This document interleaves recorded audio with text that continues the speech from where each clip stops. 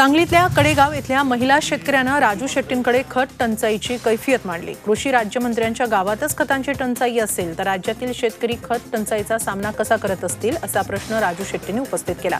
शेतकऱ्यांना तातडीनं बियाणं आणि खतांचा पुरवठा करावा अशी मागणी त्यांनी केली आहे.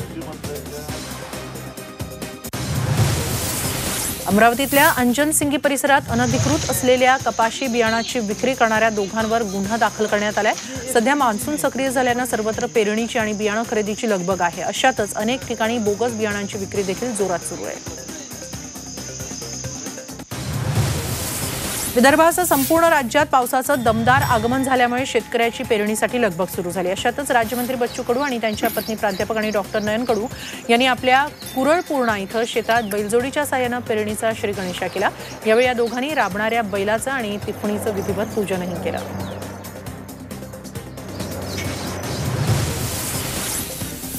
गेल्या चार दिवसांपासून अमरावती जिल्ह्यात मान्सूनचं आगमन झालंय. त्यामुळे आता पेरणीसाठी शेतकऱ्यांची लगबग दिसून येते. दरम्यान इंधन दरवाढीमुळे पुन्हा एकदा शेतकरी आपल्या पारंपरिक बैलजोडीच्या साह्यानं शेतात पेरणी करताना दिसतोय. रत्नागिरी जिल्ह्याला मुसळधार पावसाचा चांगलाच फटका बसला. चिपळूण गुहाघर खेड दापोली आणि संगमेश्वर भागात पावसानं दमदार हजेरी लावली. या मुसळधार पावसाचा फटका रत्नागिरी शहरासह ग्रामीण भागालाही बसला. भाजी मार्केट मुजावर कंपाऊंडमधील अनेक घरांमध्ये पाणी शिरलं आणि नागरिकांची तारांबळ उडाली. परभणी जिल्ह्यात गेल्या पाच ते सहा दिवसांपासून जोरदार पाऊस सुरू आहे. सुरुवातीला अवकाळी पावसानं जिल्ह्यात हाहाकार माजवला तर दहा तारखेपासून मान्सूनच्या पावसानं दमदार एंट्री केली आहे. वादळी वारे आणि विजांच्या कडकडाटासह जोरदार पाऊस सुरू आहे. त्यामुळे सखल भागात पावसाचं पाणी साचलं.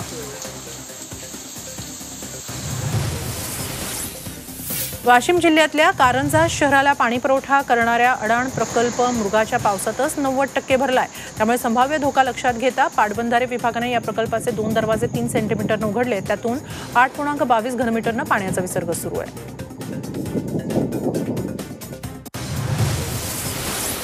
सिंधुदुर्गातला आंबोलीचा मुख्य धबधबा वाहू लागलाय. सतत पडणाऱ्या पावसामुळे आंबोलीत आल्हाददायक वातावरण निर्माण झालंय. महाराष्ट्रात सर्वाधिक पाऊस आंबोलीत पडतो. त्यामुळे सह्याद्रीच्या कुशीत अनेक छोटे मोठे धबधबे कोसळू लागले. आंबोलीच्या वर्षा पर्यटनाला यावर्षीही फटका बसणार आहे. एक जुलैपासून आंबोलीचं वर्षा पर्यटन सुरू करावं अशी मागणी पर्यटन व्यावसायिकांनी केली आहे.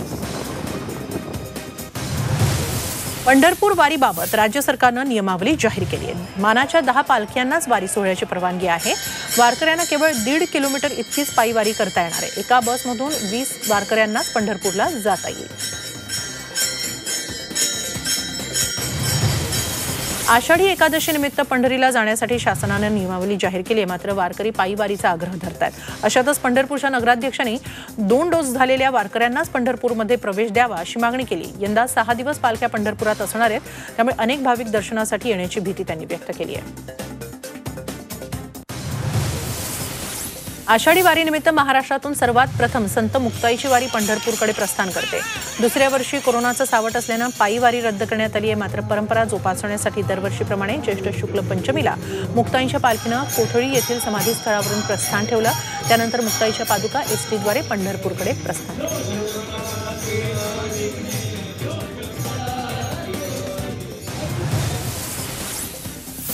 मुख्याध्यापक शिक्षक शिक्षकेतर कर्मचारी यांना लोकल ट्रेनमधून प्रवास करण्याची परवानगी मिळणार असं आश्वासन आज शिक्षण मंत्री वर्षा गायकवाड यांनी शिक्षक भारतीच्या शिष्टमंडळाला दिलं. आमदार कपिल पाटील यांच्या नेतृत्वाखाली शिक्षक भारतीच्या शिष्टमंडळानं शिक्षण मंत्र्यांची मंत्रालयात भेट घेतली. त्यावेळी त्यांनी रेल्वे अधिकाऱ्यांशी बोलून आजच याबाबत पत्रक निघेल असं आश्वासन दिलं.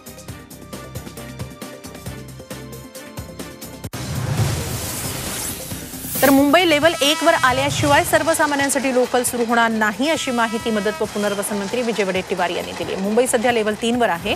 मुंबई आणि ठाण्यामध्ये जास्त काळजी घेतली जात असल्याचं त्यांनी सांगितलं.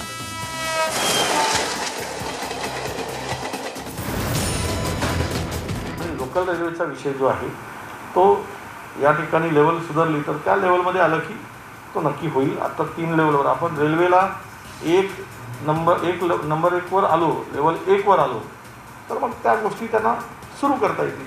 आता तीनवर असताना आता काहीच करता येत नाही. जे काही नियमावली बनवून दिलेली आहे त्या नियमावलीतच त्यांना ते काम आणि सवलती द्यावे लागतील.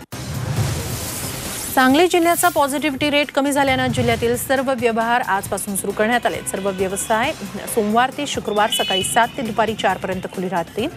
मंदिरं मॉल शॉपिंग सेंटर सिनेमागृह नाट्यगृह सभागृह जलतरण तलाव हे सगळं मात्र बंदच राहणार आहे.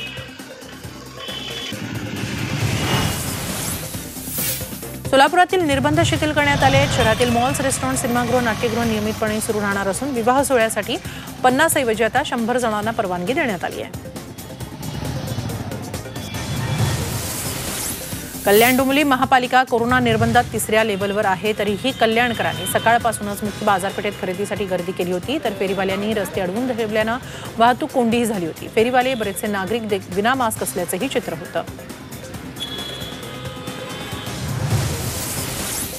कोरोनाच्या तिसऱ्या लाटेचा लहान मुलांना धोका आहे. हा इशारा लक्षात घेता पिंपरी चिंचवड महानगरपालिकेनं नवीन जिजामाता रुग्णालयात लहान मुलांसाठी विशेष कक्ष तयार केला आहे भिंतींवर आकर्षक चित्र आहेत. फुग्यांनी सजवलेला कक्ष तयार करण्यात आलाय. तसंच लहान मुलांना खेळण्यासाठी विविध खेळणी देखील इथं ठेवण्यात आलेली आहेत. धुळ्यातील हिरे शासकीय वैद्यकीय महाविद्यालयातही कोरोनाच्या तिसऱ्या लाटेसाठी विशेष तयारी करण्यात आली आहे. लहान मुलांसाठी दोन आयसीयू कक्ष इथं उभारण्यात आले आहेत. नवजात कोरोना संक्रमित अर्भकांसाठी तीस तीस बेडची तर सामान्य मुलांसाठी वीस बेडची व्यवस्था इथं करण्यात आली. मुलांसाठीचे विशेष व्हेंटिलेटर देखील इथं आहेत. राज्याच्या आरोग्यमंत्र्यांना उद्घाटनाला वेळ मिळाला नाही म्हणून औरंगाबादमध्ये नऊ अँब्युलन्स पडून आहेत. गेल्या शुक्रवारी या अँब्युलन्सचं आरोग्यमंत्री राजेश टोपे यांच्या हस्ते लोकार्पण होणार होतं. मात्र आरोग्य विभागाच्या कार्यालयात या अँब्युलन्स अद्याप लोकार्पणाच्या प्रतीक्षेत आहेत. केवळ मंत्र्यांच्या हस्ते उद्घाटन व्हावं यासाठी कोरोना काळात या अँब्युलन्स पडून आहेत.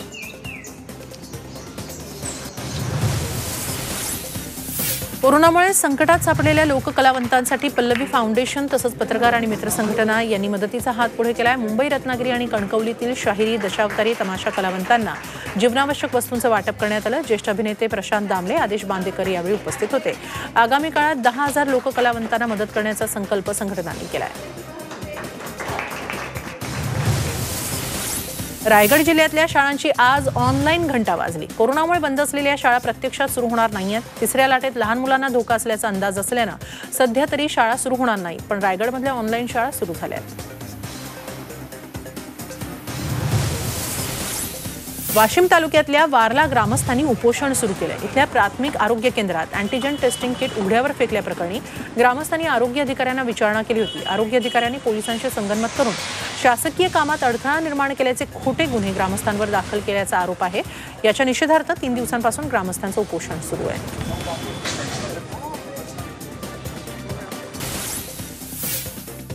खासदार संभाजीराजे छत्रपती आणि खासदार उदयनराजे हे दोन राजे पुण्यामध्ये आज भेटले. त्यावेळी दोन्ही राजांनी गळाभेट घेतली. मराठा आरक्षण मुद्द्यावर या दोन राजेंमध्ये जवळपास वीस मिनिटं चर्चा झाली. त्याआधी दोघांनी एकमेकांना आलिंगन देत गळाभेट घेतली. हा महत्त्वाचा नेमका क्षण. कॅमेऱ्यात चित्रित झाला आणि त्याचा हा एक्सक्लुझिव्ह फोटो झी चोवीस तासच्या प्रेक्षकांसाठी खास. उपमुख्यमंत्री अजित पवार यांनी कोल्हापुरात छत्रपती शाहू महाराज यांची भेट घेऊन संवाद साधला. मराठा आरक्षणावरून राज्यात सध्या वातावरण तापलं असल्यानं या भेटीकडे सर्वांचं लक्ष होतं. अजित पवार आणि छत्रपती शाहू महाराज यांच्यात जवळपास एक तास बैठक झाली.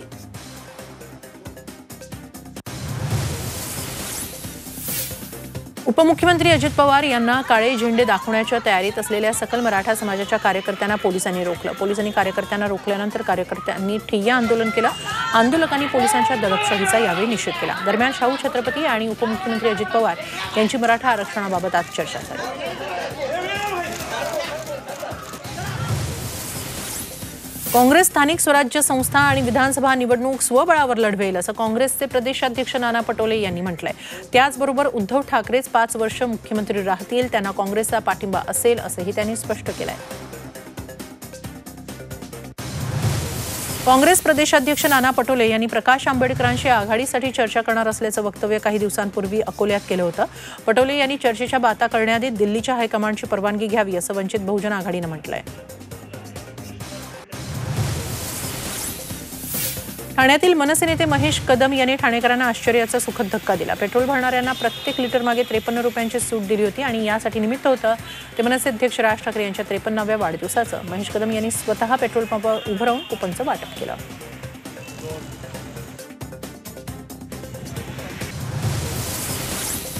नागपूरमधल्या हिंगणा तालुक्यात लहान बहीण भावाचा बुडून मृत्यू झाला. आमगाव देवळी इथं नाल्यात हे दोघे शाळकरी बहीण भाऊ बुडाले दहा वर्षांची आरोशी नामदेव राऊत आणि सात वर्षांचा अभिषेक नामदेव राऊत अशी त्यांची नावं आहेत. दोघेही कालपासून बेपत्ता होते.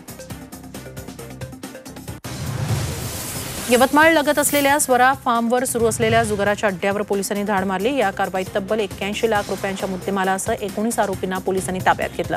आलिशान सुविधा असलेल्या या परिसरात जुगार अड्डे चालत असल्याची माहिती मिळताच ही कारवाई करण्यात आली. हिंगोली जिल्ह्यातील सेनगाव एलदरी मार्गावर पुलासाठी खोदलेल्या खड्ड्यात एक कार पडली आहे. या घटनेत चौघांचा बुडून मृत्यू झाला. मध्यरात्री ही घटना घडली. सूचना फलक नसल्याने ही दुर्घटना घडल्याचा आरोप होतोय. दुर्घटनेतील सर्व बुलढाणा जिल्ह्यातील लोणार तालुक्यातले आहेत. यातील तीन शेतकऱ्यांचा एका शिक्षकाचा समावेश आहे. मुंबई अहमदनगर महामार्गावरील पेल्लार फाटा इथं कंटेनर आणि ऑइल टँकरचा भीषण अपघात झाला. कंटेनरला ऑइल टँकरनं मागून धडक दिल्यानंतर दोन्ही वाहनांनी पेट घेतला. दुर्घटनेत ऑइल टँकर चालक गंभीर जखमी झाला असून त्याला जवळच्या रुग्णालयात दाखल करण्यात आलं अपघातानंतर लागलेल्या आगीत दोन्ही वाहनं जळून खाक झाली.